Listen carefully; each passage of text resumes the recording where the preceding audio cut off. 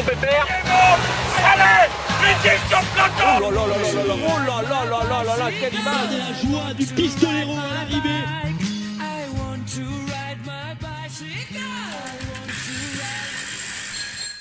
Eh bien, bienvenue dans un nouvel épisode de Chasse Patate, et un épisode un petit peu particulier parce que c'est l'épisode qui va être consacré à la présentation du Tour de France, la plus grosse course cycliste de l'année, sans doute le podcast qui sera le plus écouté, en tout cas on l'espère, et donc beaucoup de pression sur nos épaules, euh, les miennes et aussi ceux qui m'accompagnent. On est quatre autour de la table, Euh, on commence bien entendu avec, bon, un habitué maintenant, Adrien, Bah, bonjour à tous et à toutes, peut-être. Voilà, donc un psychopathe qui nous a fait une présentation euh, du Tour de France sur le groupe Eto impressionnante. hein, voilà, on sait ce que tu fais toutes les nuits pendant six mois avant le, avant le mois de juillet, quoi. Également. Lucas qui revient pour un second épisode à la suite. Salut à tous. Voilà, donc euh, tu t'as fait le bilan du Giro, tu arrives pour faire la présentation du Tour de France. Toi, tu choisis, tu choisis bien tes podcasts, hein, tu prends les. les- J'ai un bon pic de forme, ouais. C'est ça, euh, exactement. Sur les épreuves importantes. Et enfin, Alex, lui aussi un habitué. Bonsoir. Voilà. Bon, même, même si là il est 14h16, hein, bonsoir quand même. Ah. Mais bon. Ah. Euh, du coup, du coup, du coup, présentation du Tour de France. Donc, si vous voulez tout savoir sur euh, la course de juillet, si vous, vous voulez connaître tout sur le parcours, sur euh, les sprinteurs, sur les coureurs qui vont se disputer le maillot jaune et aussi ceux qui vont faire euh, s'emballer la course et qui vont faire des échappées qui, on espère, iront, au bout. On espère pour eux en tout cas. Ben, c'est ici qu'il faut être parce que là, on a, alors je vous préviens, hein, là aussi, à l'image du, bilan du Giro, pour une fois, j'ai un peu préparé le truc, donc là, j'ai pas mal de notes. Donc logiquement, on a de la matière, on va pouvoir en, discuter pendant assez longtemps, pas trop longtemps, on va essayer de pas faire un truc qui dure 3 heures. hein. Mais euh, logiquement, il y a, vraiment de quoi, de quoi dire. Et on va commencer logiquement par, euh, ben, par le parcours. hein. Déjà, qu'est-ce que vous pensez de ce parcours, euh, de ce Tour de France 2017 J'ai envie de vous écouter. Alors, Adrien, peut-être pour commencer, je te laisse démarrer et lancer le, podcast digne- dignement. Allez, ok, c'est parti. Bah, le parcours, je vais peut-être en surprendre plus d'un, je le trouve très bon. Euh, beaucoup moins de montagnes que l'année dernière. La montagne avait parasité et même paralysé le, Tour de France 2016. Cette année, on en aura moins. On aura un peu d'étapes piégeuses avec parcimonie. Je pense à la traversée du Massif central et, au Jura. Euh, je regrette simplement que certaines étapes pour sprinteurs n'aient pas été un peu plus durcies. Je pense notamment à, Pau et Bergerac aussi, qui, qui aurait mérité une petite côte de, de 1 ou 2 km dans le final. Malgré tout, on est sur un très bon cru de la part d'ASO, hormis euh, l'utilisation de l'Isoar en tant que course de côte, euh, en tant que dernière étape de montagne. Ça passe pas, mais dans l'ensemble, c'est malgré tout un bon cru. Ok, ok, bah pas de souci. Et est-ce que vous pensez pas qu'il y a euh, un petit peu trop d'étapes de, de- pour sprinter? Parce que c'est un petit peu la, la critique qui revient, c'est qu'on, moi j'en dénombre pas moins de 9, 9 étapes qui sont vraiment toutes plates et qui devraient convenir aux sprinters. Après, à savoir si euh, le, peloton arrivera à, gérer l'échappée sur ces, sur ces journées-là, Ah, on verra bien. Mais sur le papier, il y a quand même 9 étapes pour les sprinters, ça me, ça, me paraît assez énorme. Je sais pas ce que vous en pensez, euh, Lucas. Ouais, il y en a beaucoup. Après, euh, ASO avait l'habitude aussi, euh, en première semaine, de mettre des étapes avec des profils un peu variés. On se souvient des pavés, l'étape du mur de 8, c'était il y a deux ans. Là, c'est vrai qu'on en a beaucoup d'affilés dès le début, après le contre-la-montre. Euh, J'en aurais peut-être retiré une ou deux parce que je crois qu'on en a pris de neuf qui peuvent euh, se terminer au sprint, euh, enfin qu'on peut imaginer au sprint. Donc euh, ouais, j'en aurais peut-être retiré une ou deux, mais ça fait du bien aussi de, voilà, de revenir avec une première semaine consacrée au sprinter. Bon, après, le truc, c'est qu'il y a 9 étapes, mais euh, elles sont entrecoupées. C'est-à-dire qu'il n'y en a pas. Vous dites qu'il y en a beaucoup qui s'enchaînent, mais il n'y en a jamais euh, plus de deux qui, qui sont vraiment à la suite. Parce qu'il y a toujours entrecoupé. On a la planche des belles filles, effectivement, qui arrive euh, assez rapidement. On a euh, évidemment l'arrivée à, à Liège, il me semble. Euh, le deuxième, deuxième ou troisième jour? Non. euh, Deuxième.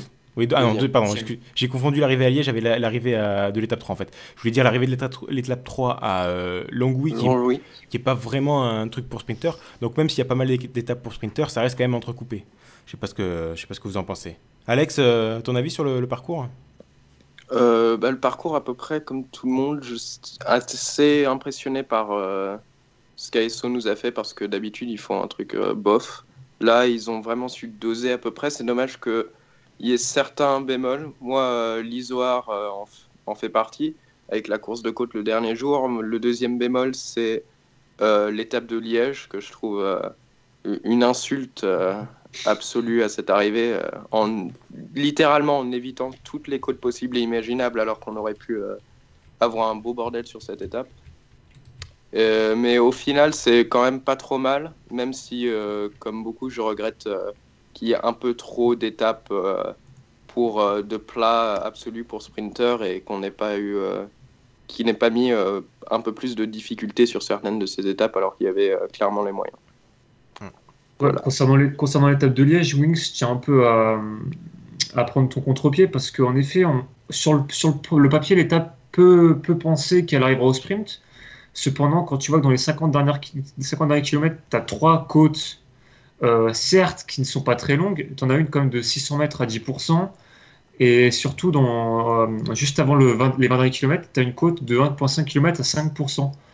Euh, mine de rien, avec la, comment dire, avec la tension qu'il y aura dans le peloton, on n'est pas à l'abri de chute, on n'est pas à l'abri de mouvements de course, de cassures. Le final sera très rapide après la côte d'Aulne. Euh, je suis pas certain qu'on a un sprint avec tous les, tous les protagonistes. Je vois bien un sprint en comité réduit, donc de 40 coureurs. Euh, pareil pour l'étape de Salon de Provence. Pour moi, il n'arrivera pas au sprint. Je compte que 7 étapes pour sprinter, moi. Et si ASO propose autant de sprints plats, c'est pour contrecarrer euh, bah, Peter Sagan, qui, qui est le, le quintuple tenant du titre, il me semble. Euh, voilà, cette année, ils ont peut-être voulu euh, privilégier un André Greipel ou un Arnaud Demar. Je pense que Cavendish n'est pas dans le coup. Et pour revenir sur euh, ce que tu disais, Théo, à savoir que les deux, enfin, il n'y avait pas plus de deux étapes au sprint d'affilée. Prudhomme l'a confirmé dans une interview. Il disait cette année, nous, on a voulu diversifier un peu les profils. On n'est pas comme au début des années 2000 où on avait trois étapes pour sprinter, voire quatre. On n'est pas dans, dans le parcours de pêcheux. Donc du coup, en effet, ASO a voulu varier, les plaisirs pour cette année. D'ailleurs, le, même phénomène se retrouve aussi pour les, même pour les étapes difficiles. C'est-à-dire que les coureurs auront jamais euh, plus de deux journées à la suite où il y a vraiment des, ben, les, favoris pour le général qui vont s'attaquer sans doute. Parce que euh, les étapes vont par paire. Et on n'a on pas. Si on devait comparer à ce qui s'est fait récemment, les, la dernière semaine du Giro, où là c'était euh, incroyable, il y avait une semaine avec que des étapes qui s'enchaînaient de montagne, etc. Là justement, on a une ou deux étapes qui s'enchaînent de montagne ou accidentées, et derrière on a hop une petite étape de, de moyennement de femme pour baroudeur ou une étape pour sprinter qui, vient s'inter- s'intercaler. Et hop on repart pour euh, le général euh, deux jours plus tard par exemple. Donc là aussi euh, est-ce que c'est pas un, truc assez malin pour justement évacuer ce qui est un petit peu gangrène de cyclisme moderne à savoir la crainte du jour suivant c'est à dire que les mecs qui, se regardent qui, qui escamotent complètement une étape parce que justement ils veulent pas ils veulent pas se ben, se fatiguer avant la journée suivante qui elle aussi sera potentiellement décisive. Est-ce que c'est pas un truc qui justement est malin pour éviter ce, phénomène C'est aussi une bonne utilisation, euh, je trouve, c'est de la part d'ASO, qui, a utilisé euh, plusieurs massifs montagneux, pratiquement euh, l'ensemble de ceux qui sont à leur disposition, avec le Jura, les Alpes, les Pyrénées et puis le Massif central. Donc ouais, je trouve que c'est plutôt bien, bien vu de leur part. des bonnes étapes avec des profils vraiment différents. Euh, avec des arrivées en descente, euh, comme on les aime bien. Et puis bon, malheureusement, l'Isoar, bon, vous en avez déjà parlé, mais c'est vrai que c'est dommage que ça se termine sur l'Isoar. quoi. Euh, à part ça, à part ça, ah, si, on va forcément parler euh, du kilométrage contre la montre, qui est toujours un, débat qui a tous les ans sur les parcours du Tour de France. Cette année, 36 km au total, donc euh, 14 sur la première étape, qui n'est donc pas un prologue puisqu'elle dépasse 10 km, et euh, 22 sur l'avant-dernière étape qui se fera euh, entre, à Marseille, au stade Vélodrome. Enfin bon, ils sortiront du stade Vélodrome, hein, ils feront pas de la piste quand même, mais bon. euh, voilà, donc 36 km de, de contre-la-montre. Est-ce que c'est trop? Est-ce que c'est pas assez? Est-ce que c'est le, le juste, c'est bien ce qu'il faut? Alex? Euh, 36 km, je trouve que c'est bien. C'est dans, dans ce que j'attendais pour un Tour de France. Et euh, ce que je trouve particulièrement bien, c'est que les, les profils du contre-la-montre ne se répètent pas. Euh, en, voyant le premier contre-la-montre de Düsseldorf qui est plat et le, euh, la- sur l'avant-dernière étape où le, le profil du contre-la-montre est justement euh, un peu plus vallonné avec la montée de Notre-Dame de la Garde, ça peut être vraiment intéressant de voir ce que ça va donner, surtout un, un jour de l'arrivée sur les Champs-Élysées. Après, je déplore peut-être que effectivement il n'y ait pas eu un contre-la-montre un peu plus tôt dans le, vers le milieu du tour, mais bon, au, au final, je trouve que les contre-la-montre sont plutôt bien agencés selon moi. D'accord, ok, ok. Adrien, qu'est-ce que t'en penses, toi? Euh, moi, je trouve qu'il n'y a pas assez de contre-la-montre Euh, 2017 représentera le plus faible total kilométrique en termes de contrôle à montre depuis très très très longtemps. Moi, je tiens un jour euh, des statistiques depuis 1994. Et la moyenne euh, depuis cette époque, c'est de 112 km de contrôle à montre par, euh, par an. Là, on n'en aura que 36,5. C'est très très très faible. Comme Wings, hein, je regrette qu'il n'y ait pas eu un contrôle à montre plus tôt dans l'épreuve et surtout un contrôle à montre plus long, un contrôle à montre de 30 à 35 km, qu'il soit par équipe ou individuel. Je sais que c'est pas un effort euh, qui est très suivi par le public, c'est un peu difficile pour les commentateurs, pour même le grand public à suivre, mais c'est là où le coureur est seul fa- face à lui-même et moi je trouve que c'est un très bel effort. Donc moi je regrette, même si le contrôle à montre de Marseille, attention, est très très bien tracé. Notre-Dame de la Garde, ça va être une, ça va être une belle pourriture. Après, Et- Notre-Dame de la Garde, c'est la seule. euh, on va dire. euh, Alex parlait d'un parcours vallonné, mais bon, c'est 1 km 2 de montée sur euh, les 36 km de contre-la-montre. 22, il y a 22. 22 à Marseille. Ouais, mais enfin bon, je, je comptais aussi Ah le oui, premier oui, qui est pas très. où il n'y a pas de côte, quoi. Ah si, il y a les ponts, tu sais, il y a les ponts pour enjamber Ah, le, les le ponts, fleuve. ouais. Ouais, faut voir, hein. ouais, Kittel va avoir un peu de mal. C'est bon, ça, à part, à part Kittel et Pellucci, euh, ils font mal à personne ces trucs. Hein. À Graham Brown un peu avant, mais bon, là, c'est Ah pour ouais. les anciens. Kirsipou aussi. On peut en parler, hein. Petit niveau numel. Ah, et Kenny. Non, Denis je Flao disais- Oh, on, on le fait tout ça, allez-y. Ouais, je disais, c'est- juste 1 km 2, donc ça va jouer vraiment euh, sur l'état de forme, sur le dernier kilomètre. Et euh, après, bon, je pense que ça va être sympa parce que c'est à Marseille, il va y avoir du monde. Euh, c'est l'occasion de voir la ville aussi euh, avec les plans. Enfin, je veux dire, en termes de public, ça va pas être un contre-la-montre dans les champs, quoi. Je veux dire, ça va être sympa à suivre. Et mais bon, ça reste très peu, hein, 36 km. Moi, je vais pas m'en plaindre parce que les cyclistes que je préfère sont pas très doués en contre-la-montre, donc ils sont plutôt devant. Mais c'est très peu. Moi, je trouve ça très peu. Juste euh, une question sur le positionnement du contre-la-montre. Est-ce que vous pensez que mettre un contre-la-montre la veille de l'arrivée, c'est plus malin que par exemple mettre une arrivée au sommet la veille de l'arrivée, comme on a pu le voir avec le Ventoux ou même avec l'Alpe d'Huez il y a quelques sur les années précédentes? Euh, je trouve que ça dépend de la situation. Moi, je préférais avoir un contre-la-montre avant une, euh, une montée finale le jour de l'arrivée. Par exemple, mettre un chrono avant l'Isoire. Dans ce cas-là, même s'il y a l'étape de Salon-de-Provence au milieu. Euh, parce que ça, euh, le chrono créerait des écarts avant la montée. Et donc, les, euh, ceux qui ont perdu du temps lors du chrono devront attaquer lors de cette montée. Mais on peut également avoir l'argument inverse, qui serait justement que les coureurs qui ne sont pas bons sur le chrono vont devoir anticiper le chrono pour devoir attaquer dans cette montée. Donc ça peut aller dans les deux sens. En fait, ça dépend juste de la situation et du placement des coureurs concernés au général. Ce que je trouve plus dommage, c'est l'étape euh, 19, d'avoir intercalé cette étape 19, euh, qui peut se comprendre aussi, parce qu'on rajoute une étape pour euh, sprinter avant la fin. Mais euh, ça aurait été bien d'enchaîner euh, l'Isoire, par exemple, avec le chrono de avec le chrono directement pour que, les, que la forme joue aussi un peu plus, même si euh, ce sera quand même compliqué. Mais ça aurait pu accentuer euh, l'état de fraîcheur. Et euh, concernant les, arrivées au sommet, donc on, a, on en a que 4, mine de rien, c'est pas forcément euh, énorme. Bon, la planche des belles filles euh, le cinquième jour, euh, la station des Rousses euh, sur l'étape 8, Péragut sur l'étape 12, et donc l'Isoire dont on a parlé sur le- sur l'étape 18. Euh, Qu'est-ce que vous pensez de ces, de ces choix de- d'arrivée au sommet Et surtout ces, ces arrivées au Ah, sommet les routes, c'est pas une arrivée au sommet par contre. Oui, alors oui, alors oui. Est-ce que les Rousses c'est y une a 10 arrivée au sommet km de plat. Il y a- il y a 10 Ouais. kilomètres de- Donc vous, toi tu considères pas ça comme une arrivée au sommet, d'accord Ok. Ah non. Très bien. Et, et alors du coup, il n'y en a plus que 3, ce qui fait que c'est pas forcément énorme. Qu'est-ce que vous pensez de cette idée de mettre moins d'arrivées au sommet, et justement de privilégier peut-être des arrivées en descente ou des, vraies étapes accidentées qui justement ont tendance, on l'a, vu ces, dernières saisons, à apporter plus de spectacles, plus de hashtag vrai cyclisme, comme on dit? Moi, j'adore l'étape de Péragude. Euh, comment elle est, comment elle est créée, parce que déjà, j'adore le port de Balès, euh, tous les, et puis tous les, les côtes euh, qui s'accumulent avant. Mais je sais pas si vous avez vu à quoi ressemble l'altiport où ils vont arriver. Euh, c'est presque digne de, de la Vuelta, quoi. C'est une montée sèche. Euh, je sais plus de combien de mètres. euh, 300 mètres, je crois. 300 mètres, 200, 300 mètres. ouais. 300 mètres à, à 13% ou 16%, je ne sais plus. Mais ça représente euh, presque euh, plus d'une minute d'effort quoi euh, sur le sur l'altiport quoi. C'est une montée euh, vraiment impressionnante. Je pense que ça va être pas mal euh, ça va être pas mal de voir ça à la télé. Euh, ça va être plus compliqué quand on sera quand ils seront sur le vélo, je pense. Mais avec le port de balai juste avant et l'ascension de Persourde, ça va faire bien mal. Ok, ok. Euh, Adrien, ton avis sur euh, les arrivées au sommet euh moi, je, je- je- je rejoins Lucas sur, l'arrivée à Péragude qui sera impressionnante euh, au niveau télé, télégénique, un peu comme le Vélodrome avec 67 000 personnes. Euh, concernant les arrivées au sommet, moi je suis pas fan de la planche des belles filles. Euh, c'est une montée digne de la Vuelta, elle m'intéresse pas forcément, surtout dans cette configuration en course de côte, sachant tout le potentiel qu'on peut retrouver dans les Vosges. Euh, pareil, les Zohar, euh, bah, je suis suis pas emballé, j'ai eu l'occasion de le dire. Donc, hormis Peyragude, bah, je suis, je suis pas forcément ravi par ces arrivées au sommet. Par contre, les étapes de montagne qui n'arrivent pas au sommet, donc celles de Chambéry, de Serre-Chevalier et de Foix, sont très très bien tracées. Là, il n'y a rien à dire là-dessus.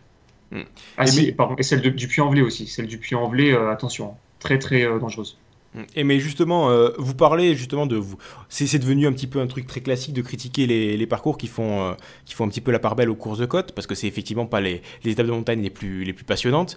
Mais est-ce que c'est pas finalement euh, toute une partie du, cyclisme euh, en montagne quoi? Est-ce que c'est pas un truc qu'on a obligatoirement au moins une ou deux fois sur une ou deux étapes dans, chaque grand tour, parce que ça fait partie du vélo et qu'il y a des coureurs, comme on le sait, qui sont particulièrement forts sur ce genre d'arrivée et qui, aiment moins les, euh, les enchaînements de côtes? Est-ce que c'est pas une obligation de mettre en place ces parcours pour justement que tous les coureurs du peloton aient leur, terrain de jeu favori durant les trois semaines même si c'est pas un truc qui effectivement est aussi impressionnant que bah, peut-être les étapes euh, qui arrivent en descente, etc., où on a beaucoup de mouvements de course, est-ce que c'est pas un truc qui est devenu obligatoire quoi? Alex?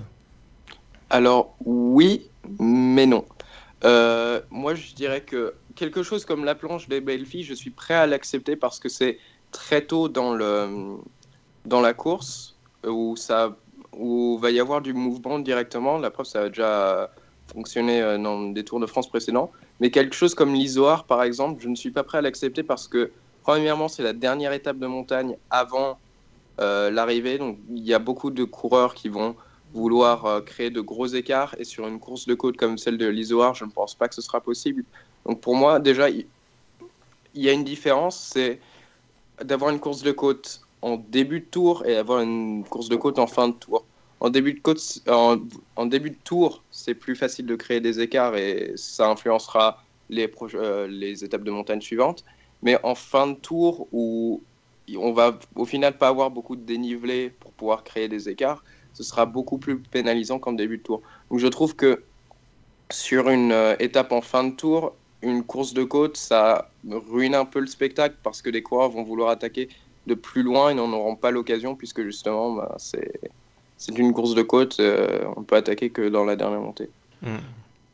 À l'Isoar aussi, euh, il y a quand même le col de Vars avant, bon, qui est euh, qui est quoi, qui est à 40 km, on va dire, de, du vrai pied de l'Isoar. Mais euh, ça peut être une montée où il y a des attaques en fin de tour, on, peut l'imaginer. Après, la planche des belles filles, ouais, comme tu dis, c'est bien pour mettre en route, on va dire, pour voir qui est en forme directement au début, euh, toute proportion gardée en termes de montée. Euh, c'est un peu comme le comme ce que devait être euh, l'Etna euh, ou du coup le blockhouse au Giro, c'est-à-dire une montée pour évaluer les forces en présence. Bon, l'Etna, ça ne l'a pas fait au Giro, mais ça a été plutôt sur le blockhouse qu'on a vu. Mais c'est vraiment la seule course de côte pour moi, parce que l'Isoar, bon, il y a quand même un col avant, ils n'arrivent pas, ils font pas euh, 150 km de plat avant d'arriver au col de l'Isoar, quoi. Ouais, mais il y a, il y a au moins Comme si quand même. hein. Il y, a 15 40 kilomètres. kilomètres entre, euh, entre le sommet du col de Vars et euh, le pied de l'Isoire. Il y a quand même euh, entre, allez, entre 35 et, et 37 km de descente ou de plat. Donc ça va pas attaquer dans Vars. en gros. voilà, le problème c'est l'autoroute. C'est ça, le problème c'est que le, le pied de l'Isoire c'est vraiment euh, c'est très très long, c'est beaucoup de faux plats, donc euh, effectivement les attaques du, col, du pile côte de Var ça, ça paraît assez improbable. Bon voilà, on sait jamais, hein. un Chavez peut nous faire rêver, hein, on va en parler, mais c'est quelqu'un que voilà. Euh, des choses à rajouter sur le, le tracé du Tour de France euh Des choses que vous voulez dire qu'on n'a peut-être pas évoqué Peut-être euh, le Mont du Chat, qui a sur le Dauphiné a, a été un truc, qui ça a été un véritable chantier. Peut-être que Je crois que c'est l'étape qui a été euh, la qui a été euh, dans les votes jugée la mieux tracée, il me semble, sur le forum. Je vais, je vais dire Le ça tout en de suite, velay est arrivé à, à côté, non? Je sais pas, il y avait un, il y suite. avait un doute. Alors non, il y a eu 74 votants pour Nantua-Chambéry, 43 votants pour Lamur-Serre-Chevalier, donc avec le Galibier, Ensuite, c'était l'étape de Foix de 100 km. Et enfin, oui, l'étape du Puy-en-Velay avec 25 votants. Ah, il me semble que l'étape du Puy en avait plus. Ah, donc, donc je me vraiment, suis euh, trompé. c'est l'étape qui, qui impressionne le plus sur le, sur le papier, clairement, avec euh, col de la Biche, le Grand Colombier, et puis en juge de paix, un petit peu le Mont du Chat. euh, on a déjà vu ce que ça a fait sur le Dauphiné. euh, alors, avec tout ce qui se précède avant, euh, imaginons un- une journée de grosse chaleur, euh, ça, peut être un, ça peut être un massacre. hein. Ah il y a des chances, effectivement. Euh, des choses à rajouter sur le Mont du Chat ou sur le, le tracé donc, qu'on n'a pas évoqué jusqu'à présent? Euh, oui, en ce qui concerne l'étape du Mont du Chat, justement, il me semble que c'est l'étape où ASO, vous savez, vous savez, il y a une étape où ASO amène les médias pour une sorte de reconnaissance, et il me semble que cette année, c'est l'étape du Mont du Chat qui a été choisie. Euh, et ASO a fait beaucoup de communication à travers les pourcentages du Mont du Chat, de la Biche, du Grand Colombier emprunté par Virieux, etc. Euh, ils ont attendu énormément de cette étape. J'ai peur que ça accouche d'une petite souris au final. Euh, on verra. J'ai peur, oui, j'ai peur. Hmm, Ouais. Bon, après, euh, le Mont du Chat est tellement dur en lui-même que. Mais... Oui, mais ça va se résumer au Mont du Chat, je pense. Ouais, ouais, Ah bah oui, parce que personne n'attaquera du Grand Colombier. C'est clair et net, mais ça servira à fatiguer les organismes. Mais le monde du chat est tellement difficile en lui-même que euh, quoi qu'il arrive, euh, ça, en haut, ils, voilà, en haut ils seront, ils, ils arriveront chacun, chacun à leur tour, quoi. hein. Ça sera Même la course euh, pour la victoire d'étape peut être intéressante. hein. Euh, sur une telle étape, euh, après seulement une semaine, euh, il n'y aura pas des écarts monstres. Mm. Euh, donc euh, au niveau des échappées, ça va être intéressant aussi. D'accord. Ok, bon ben alors du coup on va pouvoir enchaîner avec euh, ben, justement on a un petit peu parlé quand on a évoqué le parcours, les sprinters hein, qui ont droit à au moins au moins 7, 8, voire 9 étapes selon les, les versions, de- les avis de, de chacun. Il y a du coup énormément d'étapes qui vont être quand même destinées aux sprinters, plus que les années précédentes quand même, parce que les années précédentes, voilà, il y en avait quoi? 6, 7 maximum. Là, on, approche quand même quasiment de la dizaine. Donc justement, on va peut-être passer un petit peu plus de temps que d'habitude sur les sprinters, parce qu'ils vont avoir euh, beaucoup de, temps d'antenne, j'ai envie de dire, euh, pendant, pendant les trois semaines. Bah, du coup, le, premier qu'on va forcément évoquer pour, euh, pour la bataille pour le maillot vert, c'est évidemment le, comme tu l'as bien dit, Adrien, le quintuple tenant du titre du maillot vert, qui a là la possibilité de décrocher un sixième maillot vert et donc d'égaler le record de Eric Zabel, à la suite en plus, les six à la suite. C'est Peter Sagan, évidemment. Donc du coup, euh, est-ce que Peter Sagan peut être battu? C'est vraiment le... Oui, Sagan. Putain, et c'est- mon truc que j'arriverai jamais à me faire dans ma tête. Peter Sagan, effectivement. Moi, je l'appelle. euh, voilà. Moi, je suis un littéraire, qu'est-ce que vous voulez? Même pas, mais c'est pas grave. Donc, Peter Sagan, est-ce que quelqu'un peut battre? Est-ce qu'il peut être battu, quelle que soit la personne? Est-ce que Peter Sagan peut perdre le maillot vert?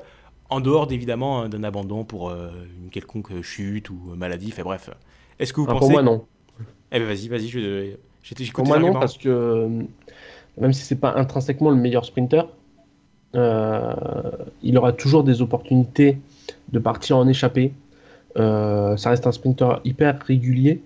Euh, S'il gagne pas, il sera toujours dans le top 5, euh, peut-être 6 et encore, serait une surprise.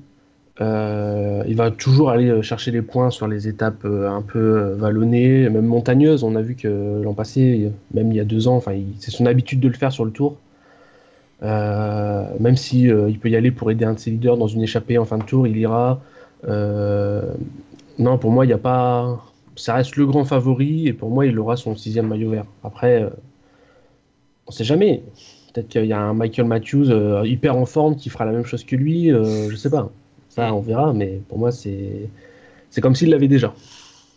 Et du coup, il peut pas se faire concurrencer comme, comme le disait Adrien par justement le, fait que sur le parcours, il y a énormément d'étapes pour sprinter vraiment très plates avec peu de difficultés pour justement pourquoi pas concurrencer euh, Sagan, c'est ce que ce que tu avais évoqué, c'est-à-dire pourquoi pas que ça sourit euh, à un mec comme Greipel ou comme Kittel qui peut vraiment faire une razzia euh, sur, sur les, les sprints massifs.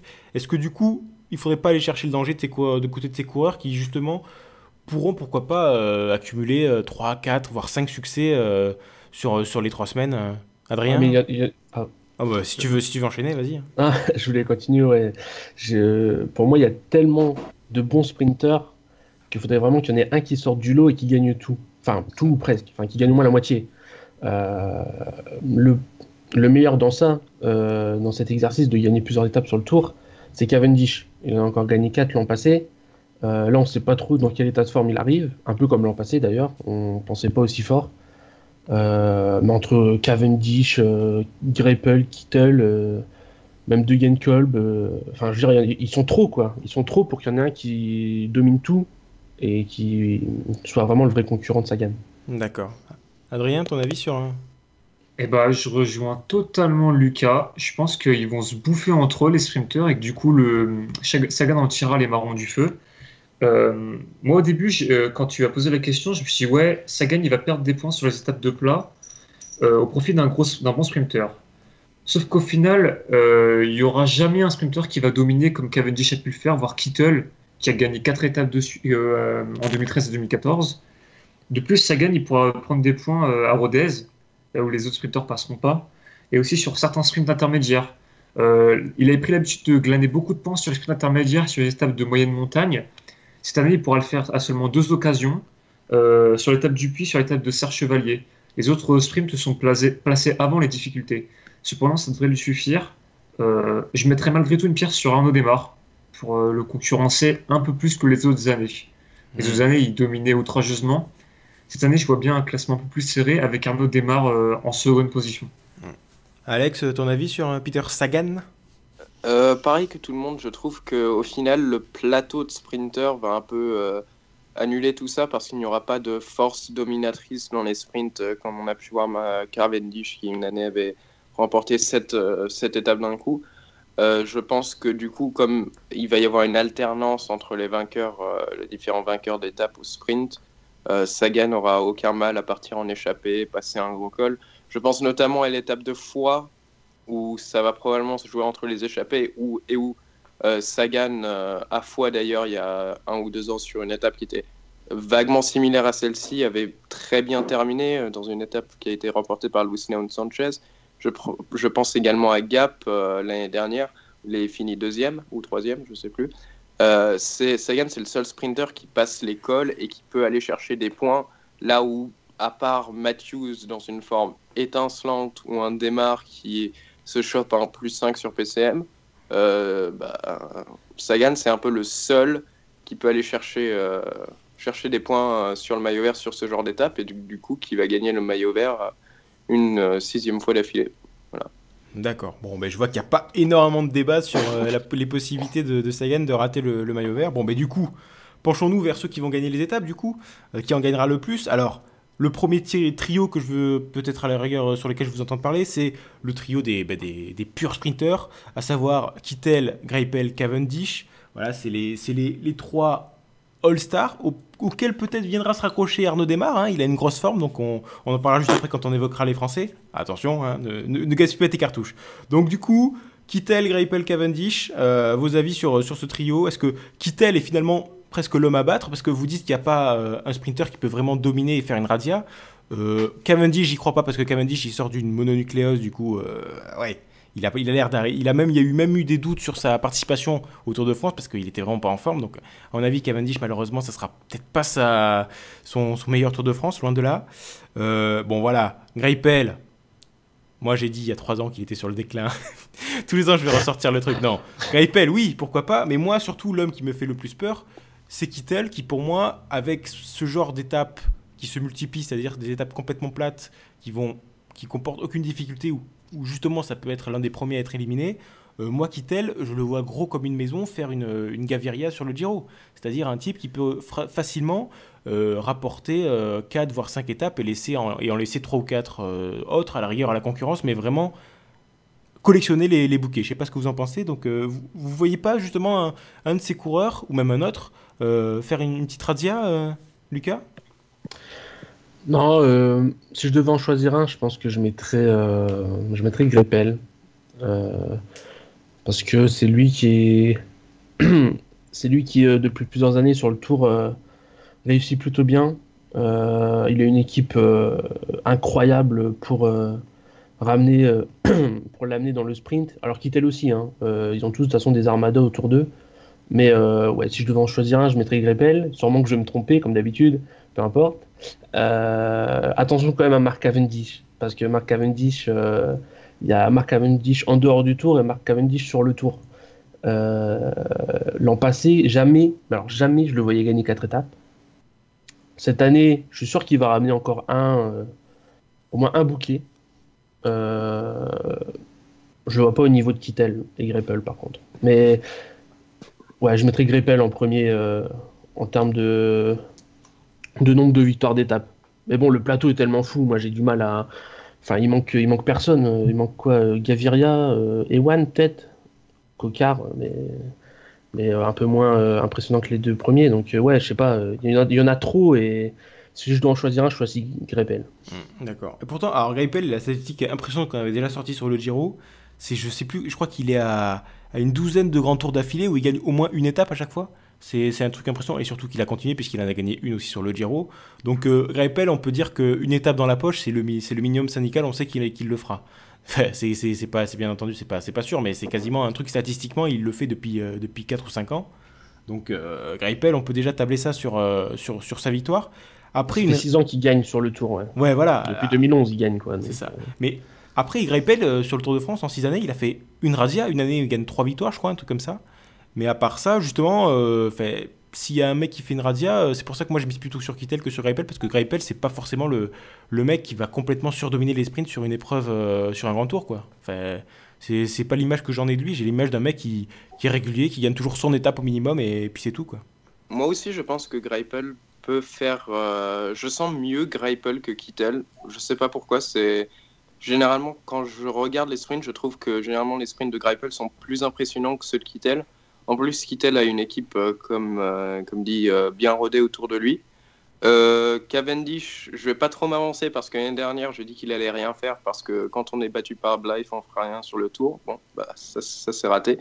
Donc je, je ne ferai pas de commentaire cette année, voilà. Et oui, donc je pense surtout que les sprints massifs, ça a joué entre Greipel, Kittel et Groenewegen, je pense. Parce que Oh là. je, je sens la surprise Groenewegen. N'importe. Attention.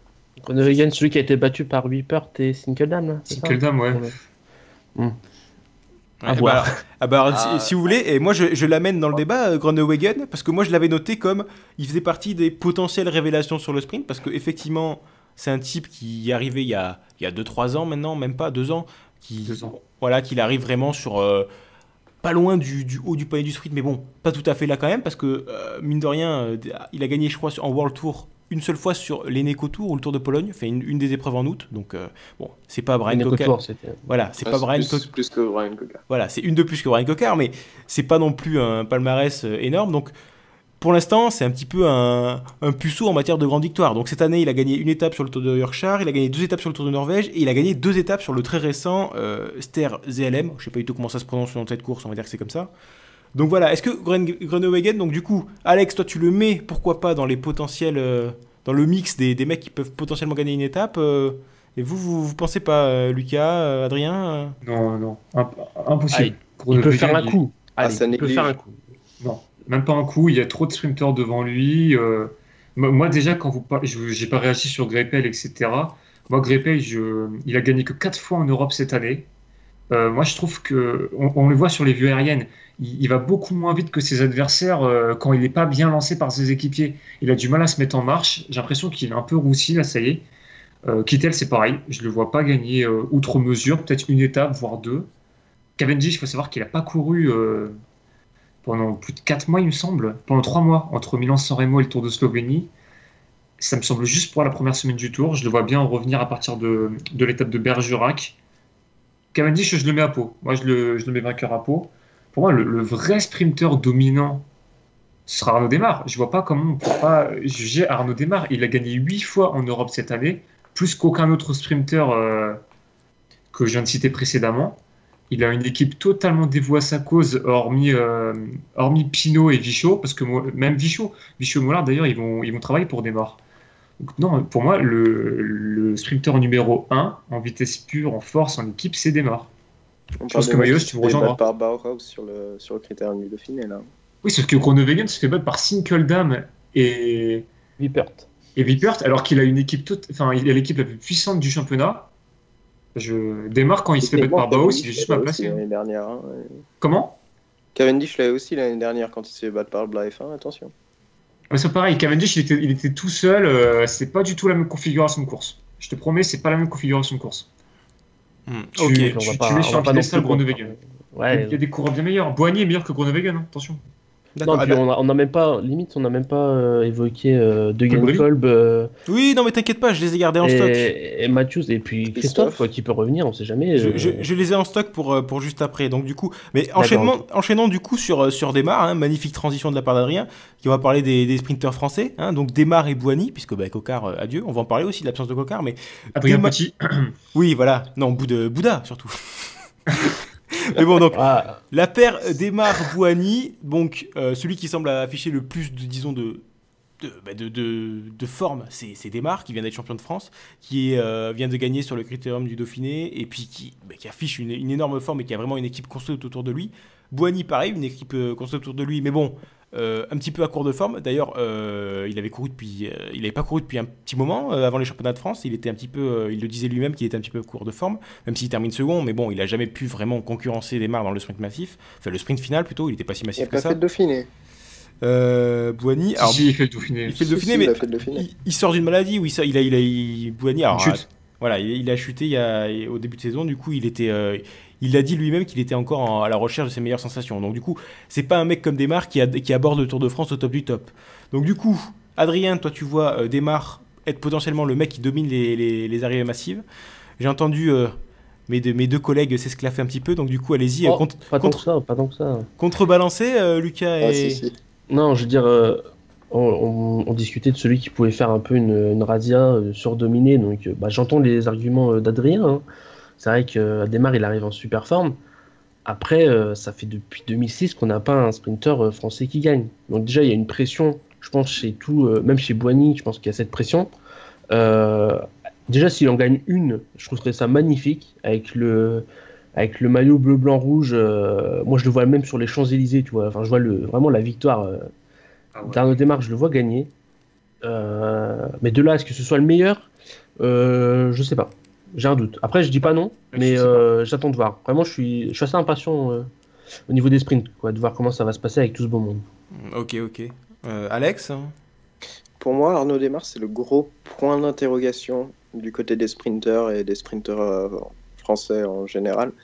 Euh, certes, il a très bien performé sur le, sur le Dauphiné où il a gagné une étape et sur les championnats de France qu'il a remporté. Mais il y a quelque chose qui me dit que ça va pas marcher. Desmar, c'est pour moi, je le sens pas. C'est aucune des grosses références sur les grands tours, aucune victoire sur les grands tours jusqu'à maintenant. Euh, certes, il arrive très en forme euh, sur le Tour de France, mais on sait jamais. hein. C'est une course de trois semaines, ça peut rapidement, euh, bah, rapidement tomber. Démarre, honnêtement, pour moi, je, je l'annonce, ça va être le, le bid, le, le bid sur le Tour. Voilà. Tant de, méch- Alex. tant de méchanceté. D'ailleurs, ça va- Reagan vous fera tous rager. ça- T'entends ça- quoi par bide Tu- Par, euh, ben, parce que Démarre, beaucoup l'attendent euh, euh, qu'il fasse une victoire ou quelque chose comme ça. Je pense qu'il accrochera une troisième, une deuxième place par-ci par-là, mais C'est un bide ça? il ne gagnera pas. Bah, quand Ouais. même, là, Desmar, Bah, on, on ouais, attend tous sa vi- Démarre, on attend qu'il gagne là. Tous les feux sont Euh, au vert. J'ai envie de dire que Desmar, c'est la première fois où fait, c'est la- c'est c'est l'année où on attend le plus la victoire. C'est c'est- c'est- ça semble gros comme une maison. C'est le mec, qui, le sprinter qui a été le plus en forme du mois de juillet, sans doute. Euh, du mois de juin, pardon. Du coup, euh, vra- vraiment, c'est clair et net que s'il y a une année, sur les, sur les dernières années, s'il y a une année où il y a un sprinter français qui peut gagner un sprint massif, c'est cette année, c'est Desmar. Sur le papier, Oui. c'est ça en tout cas. Mais euh, donc, du coup, Alex mise sur un beat. Donc, on en, on en reviendrait un petit peu au beat qu'il avait fait euh, lors de son premier Tour de France en 2013, il me semble, où il avait Ah, pareil. mais euh, c'est totalement 14. différent. mais oui, mais exactement, c'était, c'était, C'est la était- première fois qu'il revient sur le tour euh, depuis qu'il a changé de dimension. c'était, c'était, il Donc, était beaucoup euh, plus jeune, euh, effectivement. Donc euh, là, euh, vraiment, c'est vrai qu'on attend sa victoire. Euh, on va pas essayer de lui mettre trop de pression. Je sais pas si peut-être Alex, euh, je sais pas, il est superstitieux, il veut pas, il veut pas le voir euh, vainqueur. Je sais pas, mais euh, il y a tellement d'opportunités. euh, il, il doit en claquer une. Et par contre, Ah, Boigny, bah, je ne demande qu'à voir. hein. Après tout, je, je ne demande Oui, qu'à oui. voir. Je suis sceptique. et Boigny, euh, personne n'y croit parce que personne ne l'a évoqué. La Boigny, euh, avec sa forme un petit peu précaire, qui risque un petit peu à l'image d'un Cavendish, euh, peut-être de s'améliorer au fur et à mesure des, des semaines euh, et des jours de course, mais euh, personne ne, Boigny- ne voit. Boigny- il va souffrir de l'absence de Geoffrey Soupe qu'on a pris ce matin. C'est un élément essentiel. C'est celui qui partage sa chambre. Ah non, c'est non, excusez-moi, c'est euh, Christophe porte. Laporte qui partage sa chambre. Oui, pardon. Mais euh, Soupe, c'était l'un de ses plus euh, solides équipiers. Je- si Boigny doit, doit faire un top 5, je dis bien seulement un top 5 sur une étape, ce sera à Vittel, où le profil n'est pas, n'est pas évident. Euh, sinon, Boigny, ça va être un bide, comme euh, le dit si bien Alex. D'accord. Bon, chacun. Non, mais Boigny, euh, déjà, on attend de lui Boigny.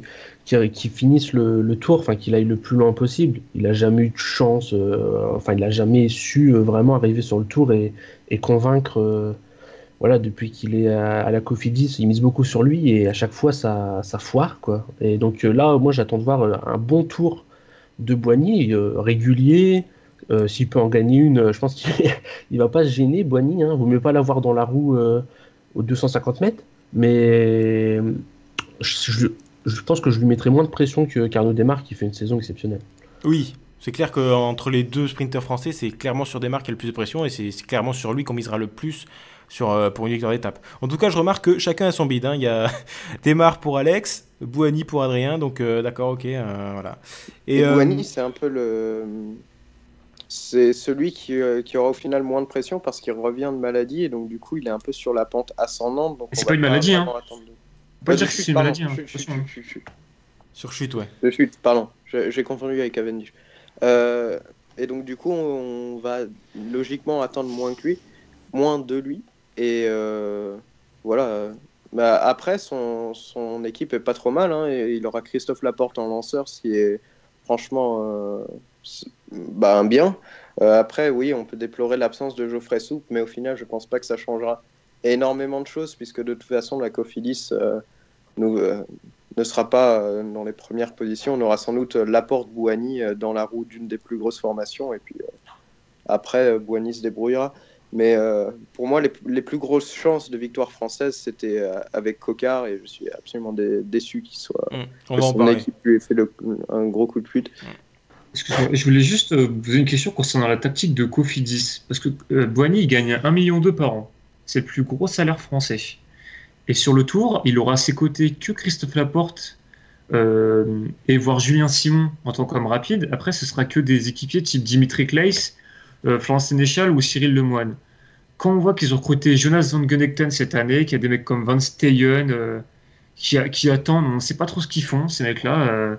Euh, vous, vous trouvez ça normal, vous, que Cofidis se prive de ne mettre pas toutes les chances à disposition de, de Boigny, vu le salaire qu'il a? Moi, je trouve que, bon, déjà, euh, Cyril Lemoine, c'est un mec hyper important aussi dans le train euh, de Nasser Boigny, hein. pas forcément dans les derniers hectomètres, mais euh, c'est un gars qui va le remonter euh, dans les derniers kilomètres. Euh, moi, ouais, je n'ai pas compris l'absence de Van Gunestein, euh, si je le prononce bien. Euh, c'est vrai que c'est une, c'était la recrue, on disait, pour Nasser Boigny. euh, alors, je sais pas, est-ce qu'ils s'entendent pas euh, Est-ce que ils n'ont pas jugé assez performant Pourtant, moi, je l'ai vu faire des placettes. euh, Enfin, je sais pas. C'est vrai que je comprends pas. Ou alors, euh, il voulait pas avoir un autre rôle que celui de l'emmener dans les derniers kilomètres parce que c'est la porte, le, le lanceur de. Boigny. C'est peut-être ça. Au final, enfin, il y a dans les autres équipes, il y a Nikias Arndt, il y a Marc Renshaw, il y a Marcel Siberg, Fabio Sabatini, je pense, pour euh, Kittel. Euh, ça va pas laisser beaucoup de place, hein, tout ça. Même pour euh, il y aura de l'âge, à mon avis. Guarnieri. Euh, ouais, de l'âge, je pense. Ouais, Guarnieri et Chimolai aussi. ouais. Donc euh, voilà, il y aura du monde. Donc euh, Boigny, je pense qu'il va peut-être devoir se débrouiller un peu seul aussi. Enfin, tu gagnes autant et tu te débrouilles seul, enfin, je sais pas. Ah, je suis d'accord, je suis d'accord. Mais je veux dire, je sais pas, ça a l'air d'être la stratégie. Moi, je, je la comprends pas tellement. ouais. Et à votre avis, à combien est la cote pour que Bouhani gagne une étape et se fasse déclasser juste derrière? Ça, ça- 1,01. Ah, ça, ça, franchement, j'espère que ça lui arrivera pas parce que. Parce que là, ça serait, mais là, Ça et- ferait, non, ça non, ferait non. beaucoup. quand vous avez vu la tête qu'il avait à l'arrivée du, du championnat de France, quoi. Mais le Ah, mec, mais on peut était- le comprendre. Aussi. ouais, non, mais complètement, on peut le comprendre. Mais le mec était en dépression, quoi. C'était ouf, quoi. C'est, enfin, voilà, on voit que. Encore, il fait deuxième. Enfin, c'est-à-dire que celle-là, il est même pas déclassé. Il, bon, il fait deuxième euh, en revenant de, de chute, c'est très bien. Mais ouais, par rapport à comment il avait été déclassé à, à Hambourg, euh, je comprends qu'il ouais, faisait un peu la gueule. Effectivement. Bah du coup, c'est Alex qui a évoqué Cocard. Bah du coup, on va pouvoir en parler euh, un, petit peu, euh, un petit peu rapidement là sur l'affaire Cocard, donc le, bras de fer entre Jean-René Mernodo et, et son, son sprinter star, qui avait décidé de quitter la Direct Energy à la fin de la saison, qui a prévenu son manager bien, bien en amont dans l'année. Et qui du coup, ben, on a l'impression que cette non-sélection pour le Tour de France, c'est une punition, c'est un, je sais pas, c'est une crise d'ego de la part de, de Jean-René Bernaudot qui décide de, ben, de punir son coureur pour, euh, pour son, sa non-fidélité euh, en 2018. Euh, Qu'est-ce que vous pensez de cette affaire qui me paraît complètement surréaliste parce que mais du coup, Direct Energy arrive complètement à poil sur le Tour de France. Ils vont faire quoi? Ça va être Bar- Bardiani du Giro, quoi, sur le Tour de France, quoi. Je, je vois pas ce qui, qui c'est qu'il y a par euh, le, le vieillissant Vauclair, un Calmejane cramé de son début de saison de ouf. euh, qu'est- Qu'est-ce qu'ils vont faire Direct Energy sans Cocard, avec Bouddha et Adrien Petit euh. Ils vont faire les échappées, comme d'hab. Enfin, justement, euh, les dernières années, l'habitude avait un petit peu changé avec Cocard qui jouait les sprints aussi, hein, mais là, euh, effectivement, ça me paraît difficile. hein. Adrien Petit et, et Thomas Bouda, ils vont faire ce qu'ils peuvent quoi, dans les derniers kilomètres. Euh, Adrien. Petit, c'est un très, c'est un très bon finisher. Euh, mais euh, sur le Tour de France, euh, voilà, voilà. t'as pas, d'espace. quoi. Donc ça va être très très compliqué. Pour Thomas Bouda, c'est une bonne expérience à prendre. Enfin, après, on peut pas lui jeter la pierre non plus. Il est là en remplacement. euh, et je pense qu'il voilà, c'est une très bonne chose pour lui. Euh, pour l'instant, il a fait que des courses, euh, comment dire, de, de seconde zone entre guillemets. C'est déjà des bonnes courses, mais c'est pas voilà. Le Tour de France, c'est c'est un monde totalement différent. Et pour euh, ouais, pour Thomas Bouda, ça va lui donner de l'expérience, se placer dans le parmi les meilleurs au monde, euh, voir un peu son quel est son réel niveau. Bah ouais, mais franchement, vous, comme tu le dis, vu la concurrence, euh, petit, même euh, aussi en forme soit-il, euh, le mec, s'il arrive à décrocher 3 top 10 sur les, sur les 3 semaines, ça sera déjà sympathique, quoi. Enfin, voilà. Ouais, mais alors- bon, euh, il aurait pas fait mieux. hein. Oh, Cocard, il faut quand même arrêter non plus. Sur, la euh, forme, sur la forme qu'il a depuis quelques semaines, sincèrement, il aurait pas fait mieux. Et Direct Energy euh, aura plus de- d'exposition médiatique en faisant les échapper tous les jours qu'en roulant, euh, qu'en roulant en tête du peloton. Et encore, ils, rou- ils auraient même pas roulé en tête du peloton parce que ça aurait pas été à eux de le faire. Enfin, de toute fa... ils le font de toute façon, euh, les échappées. donc non, ils, ils les auraient pas forcément faites avec, sur les étapes de plat avec euh, Coquard en sprinter.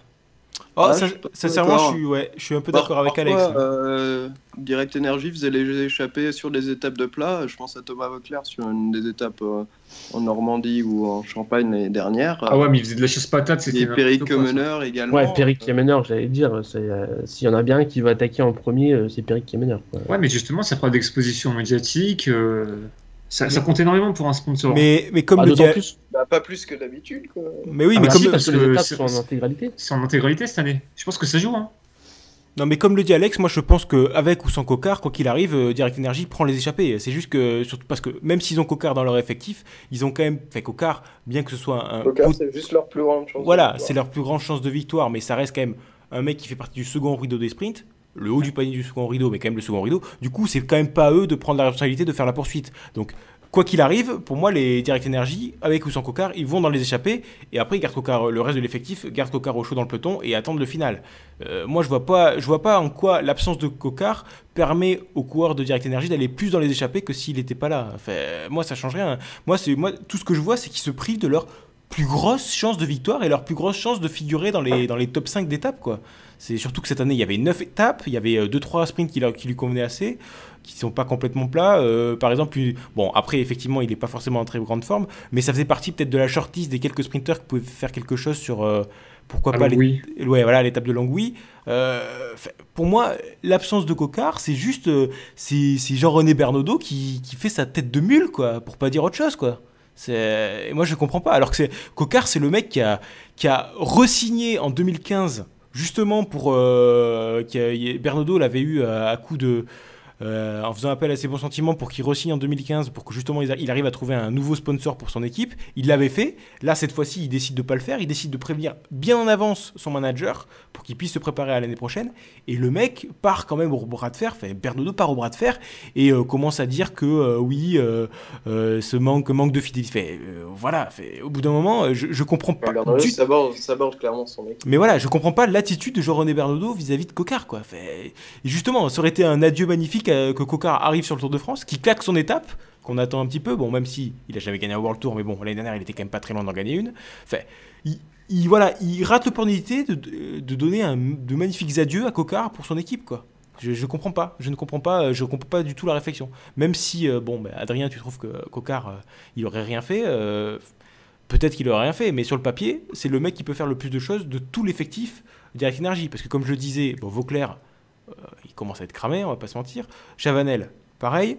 Euh, le futur, il s'appelle. euh, Oui, Chavanel, attention. hein. Chavanel, il avait des bonnes jambes encore. hein. Sur, le- sur les 4 jours de Dunkerque, il était pas mal. hein. Ouais, fait sur le championnat Euh, de France contre. pavée, là. Ce championnat de France contre la montre, il était un petit peu moins en forme quand même, hein, faut pas se mentir. Oui, mais il y a eu beaucoup de, de- de défaillances à cause du vent.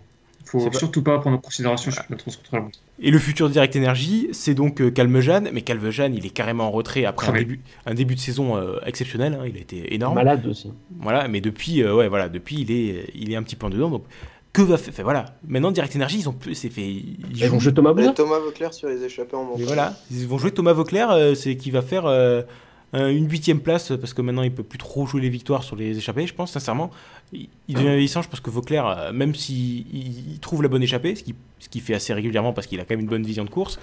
euh, à mon avis, Vauclair, euh, il, sera, il se fera battre par ses compagnons parce que c'est plus le, le grand Thomas Vauclair. C'est plus un mec qui, qui est capable de régler les échappées. C'est voilà, il va faire, il va faire une cinquième ou une sixième place sur, sur les trois semaines et, puis c'est tout quoi. Enfin, voilà, pour moi, c'est se tirer une balle dans le pied. Bon, voilà, je sais pas ce que vous en pensez, mais voilà.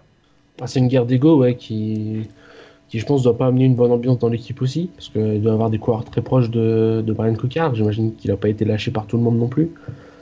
Euh, c'est Jean-René Bernaudot, après c'est lui le patron, c'est lui qui choisit. euh, on peut trouver ça euh, un petit peu hypocrite parce que c'est lui qui lui a donné, qui lui a demandé une date butoir et qui, Cocard, en tout cas, ce qui transparaît, c'est qu'en toute honnêteté, il lui a dit bah je partirai. Et puis il l'a mal pris, du coup il il l'a pas mis dans les meilleures conditions, du coup il a pas eu des bons résultats, et là il, explique que c'est un choix sportif de ne pas le prendre. Donc sur ça, j'ai un peu de mal. Mais euh, voilà, après, euh, je demande qu'à voir. Hein. Direct Energy, euh, avant Cocard, ça fonctionnait. Là, il y a Chavanel, Vauclair, Calmejane, euh, et puis Thomas Bouda est petit pour d'autres opportunités. Donc on va voir. Après, la gestion euh, du cas Cocard est extrêmement euh, compliquée. ouais. Bon, après, et Cocard, euh, on dit que ça marche pas euh, depuis le début de saison, il est quand même à 5 victoires. C'est quand même pas rien. C'est le mec. Sur le début de saison. Voilà. Bon, après, certes, Non, mais depuis, depuis qu'il a donné sa date, euh, enfin qu'il a donné son envie de départ, rien. il, il y est plus. Enfin, en tout cas, euh, soit on l'aide pas, soit il y est plus. Enfin, je sais pas. Euh... Ouais, C'est-à-dire c'est sur le Dauphiné, où la route du Sud. mais- C'est Dauphiné, route du Sud. C'est c'est les deux seules courses qu'il a fait depuis, euh, depuis qu'il a annoncé son départ. Parce qu'il a annoncé son Il a départ fait le. Tour de Belgique aussi. Bah, Il a Ah, gagné sur sur le Belgique, il gagne. Il gagne une étape. Il a gagné. Donc, euh, donc voilà, Cocard, c'est c'est plus, c'est plus. Vous me dites qu'il est, il est cramé, enfin, il fait plus grand chose depuis que, depuis qu'il Ah, a. j'ai pas il- dit ça. ouais. Voilà, mais fait, bon, c'est quand même le- un mec qui depuis trois ans tient à bout de bras son équipe. Et cette année, heureusement qu'il y a Calmejane. Enfin, bon, cette année, ça gagne quand même pas mal chez Direct Energy. Mais il y a que Calmejane Bouda, qui il a. a gagné aussi. hein. Voilà, mais il y a- oui, mais il y a que Calmejane qui a plus Voilà. gagné que lui. Oui, qui a plus gagné que Cocard. Non, Voilà. mais évidemment que Cocard devait être sur le Tour de France. hein. Je pense qu'on est. Enfin, Bah non, En fait, cette je- équipe, je- euh, il a je- sa place. Excusez-moi, Euh, je me permets d'intervenir. Je, je, je reviens sur mes propos. Je viens de me rappeler que Cocard a fait troisième d'une étape sur le Dauphiné. Et je sais pas si vous vous rappelez de ce sprint où c'est Adrien Bose. Petit qui ne l'emmène pas au mieux. Où Bose gagne en effet. Ouais, c'est ça. Petit fait 4. Si, si Cocard est bien, est bien amené sur cette, étape- sur cette étape-là, il la claque. Il gagne en World Tour. Et du coup, il se passe quoi? Mando, il l'amène. Oui. est obligé de l'amener. Donc en fait, je reviens sur mon avis. En effet, c'est une erreur. oh, Non, mais je- au moins, je, je reviens sur mon avis. Je Non, mais c'est pour moi, Cocard devait y être. Après, il y a Oui. des histoires d'internes euh, qu'on peut pas savoir. euh, et puis voilà, quoi. Le pauvre, euh, il est là. Enfin, franchement, euh, moi, ça me fait de la peine parce que c'est un super coureur, euh, un petit peu décrié. On le chambre parfois parce que c'est vrai qu'il a pas gagné en World Tour. Mais euh, c'est vraiment un très bon coureur, euh, en tout cas au, au niveau des coureurs français. Et bien sûr qu'il devait être là, euh, avec tout le respect que j'ai pour Thomas Bouda, que j'aime bien aussi d'ailleurs. Mais ça devait être Cocard. Très bien, très bien. Bon, je- on a fait un long, très long débat sur euh, le cas Cocard. Donc je pense que on va terminer avec les sprinters, avec donc euh, les derniers noms qu'on a qu'on a qu'on n'avait pas évoqués. C'est-à-dire Voilà, fait tous les. Je vais vous faire un gloubi-boulga de tous les un petit peu les, les, les sprinters, euh, les classic men sprinters, hein, c'est-à-dire c'est Christophe, c'est Degenkolb, c'est Bossenhagen, c'est Matthews effectivement, c'est Colbrelli, c'est pourquoi pas Féline. Enfin bon voilà, parmi tous ces coureurs, est-ce qu'il y en a Oula, qui- Féline. Alors oui, Swift. pourquoi pas Swift aussi, euh, voilà. Et bon, Maclay, il est, il est- lui, on peut parler d'un mec qui est cramé depuis le début de saison, euh, c'est Maclay quoi. Mais, euh, mais parmi, parmi donc tous ces noms, est-ce qu'il y en a, on peut dire que c'est disons le, le second rideau du sprint, est-ce que vous en voyez euh, particulièrement briller un Christophe qui reviendrait vraiment au premier plan comme il l'était il, y a- deux ans, ou, euh, ou un euh, aussi, pourquoi pas sur un, sprint un peu difficile? Qui voyez-vous briller parmi, parmi tous ces coureurs? Moi, je mettrais une petite pièce personnellement sur Colbrelli. Une petite, claquer une petite étape, le, petit Sony, là. euh, je sais pas pourquoi, mais je, le sens plutôt bien. Qu'est-ce que vous en pensez, vous, Alex Euh, moi, je vois bien Daniel Maclay, pourquoi pas, dans la continuité de ce qu'il a fait. Euh, cette fois-ci, ce sera pas un podium, ce sera une deuxième place. Voilà. Dans la continuité euh, de ce qu'il a fait Parce que c'est la continuité de ce qu'il a fait cette saison, c'est des 48e places, hein, Maclay. hein. Enfin, On Maclay- sait jamais, le, le tour donne des ailes. Et euh, ben, bien sûr, Michael Matthews, euh, notamment j'attends l'étape de, de Longwy, où ça va être un des seuls à pouvoir concurrencer euh, Peter Sagan. Attention à Van Avermaet aussi. hein. Et à Ah, oubliez Van Avermaet. Ok. Euh, un des seuls, voilà. Non, non, non, mais il va être là, je pense, Mathieu. Lucas euh, Non, moi je. Ce serait plutôt Colbrelli aussi, mais bon, tu me l'as pris, donc euh, je vais essayer d'aller vers un autre. Euh, J'aimerais bien que John Degenkolb euh, à la Trek euh, ramène une, une petite étape aussi. Je pense qu'il en a les moyens. Euh, après, euh, comme je disais tout à l'heure, il y en a trop. Enfin, je veux dire, j'en vois même pas un. Ah, Christophe, euh, bizarrement, j'y crois pas trop. J'ai l'impression qu'il est pas. Il a pas fait grand En chose. ce moment, il est pas bien à la Katusha. Euh, il me semble qu'ils l'ont critiqué un petit peu. euh, Il part. Ouais, il part et en plus ils l'ont un peu critiqué. Enfin, c'était un peu, euh, peu bizarre. Euh, il sera quand même là dans les sprints. Après, euh, je le vois pas forcément être au-dessus et euh, être au niveau de, de ceux qu'on a cités précédemment. Donc non, moi ce serait plutôt Colbrelli aussi. Je te suis Théo là-dessus. Sonny Colbrelli, il m'a l'air pas mal en ce moment. Et, et Christophe, surtout sur les, les sprints qu'il fait ces derniers mois là, il est franchement, il a du mal à, à remonter euh, Rick Zabel. euh, sur tous les sprints, il est, on a l'impression qu'il manque vraiment de gaz. hein. On- il fait des, troisième, quatrième places là, mais jamais il arrive à, à jouer vraiment la victoire. Et toujours, il est, à chaque fois, il est super bien emmené par son équipe, mais il n'arrive pas à enclencher la surmultiplier et, à, et il termine devant deux, derrière ses, ses poissons pilotes. Fait, Franchement, Christophe, c'est un des mecs plutôt inquiétants sur euh, les mois de mai-juin. là. hein. Euh, en Californie, il était pas top et euh, Dauphiné non plus. hein. L'écart qu'il y a avec Arnaud Desmar sur, la... sur- le Dauphiné, euh, c'était assez impressionnant. ouais. Ouais, ouais, Il était, effectivement. il était vraiment. euh, Bon, il fait deuxième quand même. hein, donc il, est, il est devant Colbrelli, euh, dont j'espère une victoire. Mais ouais, on sent que c'était pas le, c'est pas le grand Christophe. euh, c'était quoi C'était en 2015 ou- Ouais, oui, il gagne trois étapes. Ouais, c'est c'est plus le même. hein. Bon, après, Colbrelli, il est derrière. Il parce que. Colbrelli, c'est pas un pur sprinter. Enfin, c'est un, c'est un sprinter, c'est un passe-partout. Un peu à la manière d'un cocard, quoi. Mais lui, il a gagné un World Tour. Ouais, mais ouais. Il a gagné une belle étape d'ailleurs. Oui, oui. Paris-Nice, hein. Exactement. C'est une étape de gazier. Adrien, ton avis? Euh, moi, je, je dirais plutôt Van Avermaet. Parce que dans, il y a trois sprints dans lesquels il pourra tirer les, son épingle du jeu. À Liège. Je pense qu'à Liège, on va avoir une course de Flandrien. Donc je vois bien Van Avermaet euh, placé. À Longwy. Longwy, c'est pas si difficile que ça, attention. Euh, des mecs comme Desmar euh, ou Boigny pourront, pourront jouer la, la gagne. Et à Rodez, Rodez, c'est un sprint vraiment pour puncher. Mais bon, il y a quand même le mot sprint. Alors pour moi, ce sera Van Avermaet. Colbrelli, je ne le vois pas performer. Matthews non plus. Euh, Maclay, peut-être Maclay, allez, parce que j'aime bien le Fortunéo. Donc euh, ça me ferait triper que Maclay fasse une victoire comme, euh, comme à Denain l'année dernière.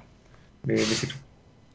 Ouais. Bon, après, euh, tu mets quand même Van Avermaet, tu lui mets plein d'étapes, entre guillemets, qui lui sont favorables, mais fait, Van Avermaet, Ouais, en termes attention, Sagan et Matthews derrière. Bah voilà, en, ter- en termes de vitesse pure, il se fait bouffer quoi. hein. Enfin, Mac- euh, Van Avermaet, il est super fort dans les dans les sprints à 3, les sprints en petit comité quoi. Mais euh, franchement, dès qu'il va y avoir plus du, du- de plus de 10 coureurs quoi, euh, euh, Sagan, Matthews seront là, euh, même un démarre. euh, oui, je sais bien, mais c'est faute de mieux. hein.